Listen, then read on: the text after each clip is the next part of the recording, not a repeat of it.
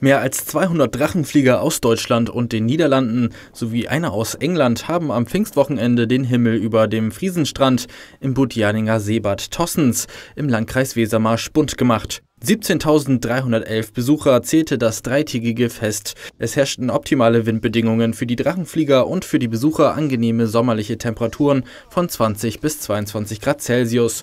Gleich vier Zirkusangebote gehörten zum bunten Programm für die ganze Familie.